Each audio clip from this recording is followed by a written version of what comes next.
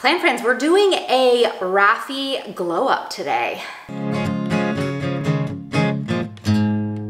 Bloom and Grow YouTube show. One of my favorite plants, Raffi, my Rhaphidophora tetrasperma, is in dire need of a makeover for many reasons.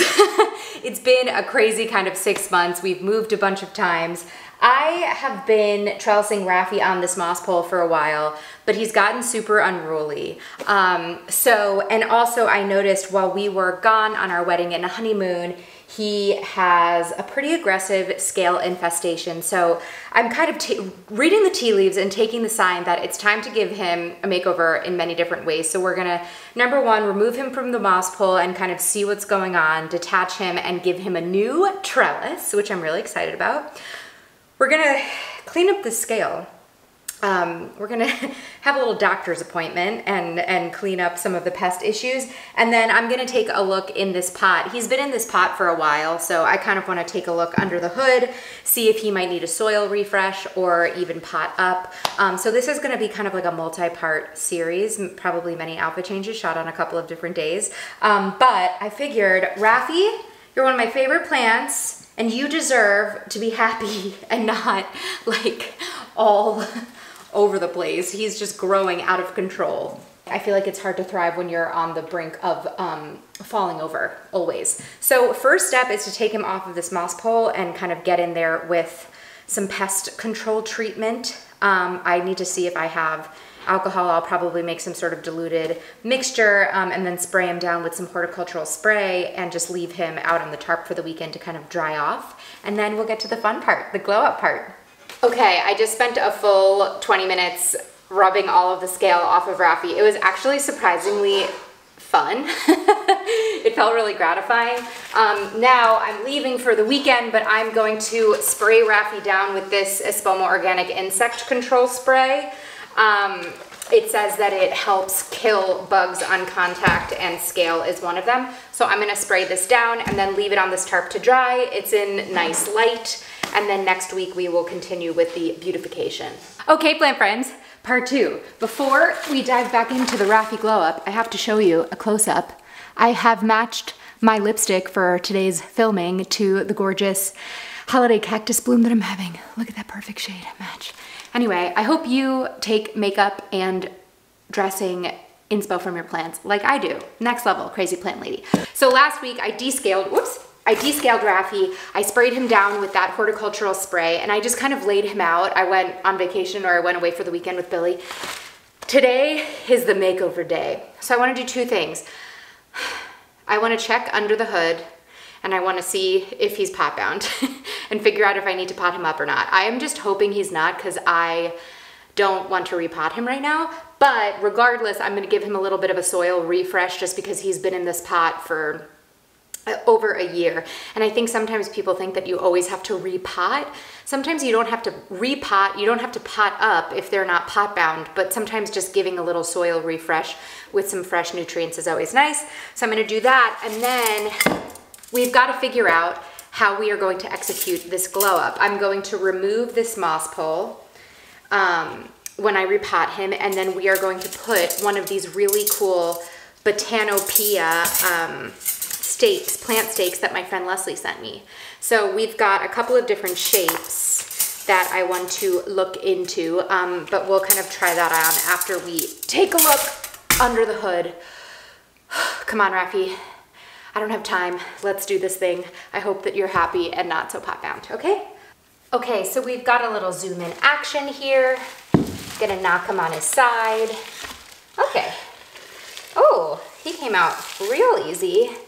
I love the way this pot looks with the patina. I just think that's so beautiful.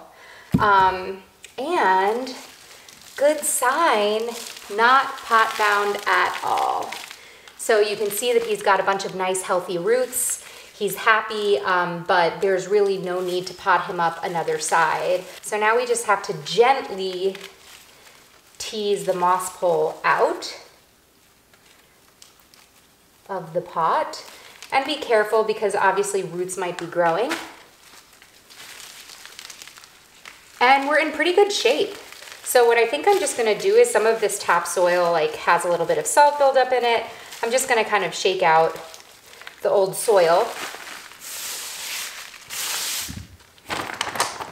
And then I'm gonna make my Lazy Girl um, Espoma Aroid mix, which is part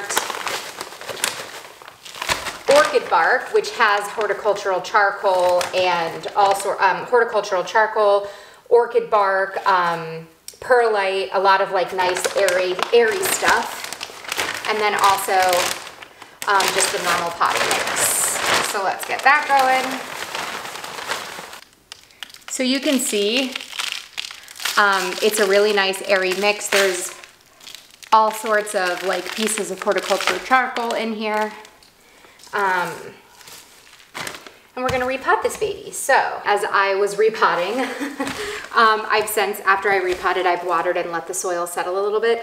But as I tipped Raffi over, um, I fully snapped off his entire freaking elongated um, elongated vine. However, I think this is actually a positive because as I talked about earlier, I grew Raffi in several different environments, the first being not as much light as the second. And so there is a clear delineation in this plant from when he has these thinner stems, which no longer have leaves on them, to then these really juicy thick stems. So what I think I'm gonna do is take this as an opportunity. I'm gonna cut these off. I might throw these all in moss to see if I can prop them remove the bottom leaves of these two new stems and plant them in this pot. Then, depending on what that looks like, I think I will then either trellis or not trellis yet and just kind of let him fill in um, and make sure that I stick him in some good light so um, and give him some TLC so those uh, cuttings can kind of establish. So that's what you get when you rush, Maria. Um, but I actually think this is gonna turn out great and is totally um, a positive. Okay, another day, another outfit matching my lip, but today I'm matching my sweater, not my plant. So, plant friends, I needed to take a break yesterday because I got overwhelmed because I broke my plant. But I'm going to finish this video because here's the thing, sometimes you set out with a project and things change and you just gotta ebb and flow like with our gardens, whose gardens actually look the way that they planned that they're gonna look in January when they actually plant and harvest. So um, here's my new plan. I thought about it. I also referenced a great um, plant propagation book, Plant Parenting by Leslie Halleck. Um, and I just thought about how I'm going to change my idea because I initially was planning on using this beautiful circular stand and trailing the very long vine that I had around it. Obviously that's not gonna work anymore because what I ended up doing was taking the vine and breaking it into four larger propagations.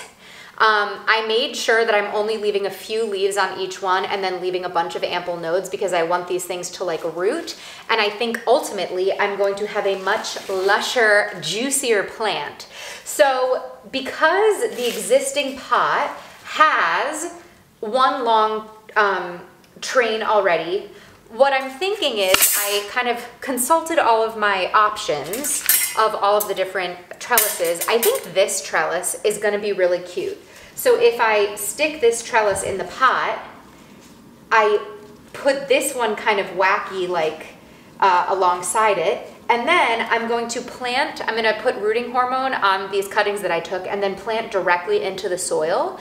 And I'm gonna kind of, as I plant, style up this wackadoo shape. And then as the plant grows, I will just keep kind of trellising it and I think it'll actually look really cool. So I think in terms of like the Raffi glow up that I was hoping for, I don't know if it's gonna like look as amazing as I was hoping to have this like stunning kind of circular green thing immediately. I also think that I'm gonna be able to just kind of enjoy molding the shape as Raffi grows um, in this really fun and interesting shape. So that's my new plan. I have some floral tape. I also have floral wire that I've had like for a hundred years. So as I trellis, I'm gonna kind of play around with the tape versus wire. We'll see how it goes and I will report back after everything is kind of potted up and trellised. So wish me luck. Okay, plant friends, sorry this lighting is like a little kooky. It has since started snowing and the sun completely evaporated over the course of the 20 minutes that I was styling this. But anyway, we've got Raffi behind our nice black fireplace, so I think the contrast, you can kind of see what's going on. Anyway, so okay, this the styling process was a little harder than I thought. I, I styled him with the floral tape. The floral tape kept opening up. It's very old.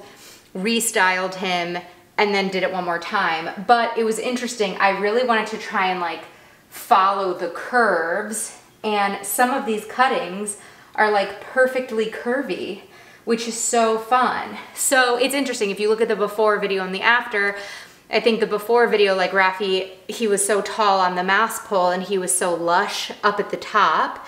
He kind of looked larger and more jungly, but I actually think in the long run, this is gonna set him up to be like a much lusher, wider, juicier plant because he was like nothing on the bottom because all of those spindly stems had no leaves and he was everything on top and also like literally every time I watered him would almost get knocked over. So I'm really excited to follow the growth of this plant, especially now that he is scale free.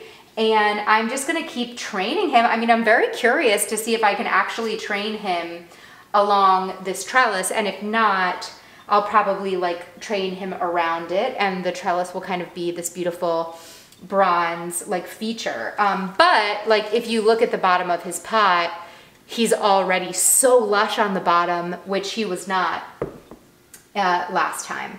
So I think this is a great lesson to ebb and flow and grow with our plants. Sometimes you have like these big crazy planty visions. I had this very specific vision for what I wanted. It didn't work out. I'm cool with it. What are you gonna do?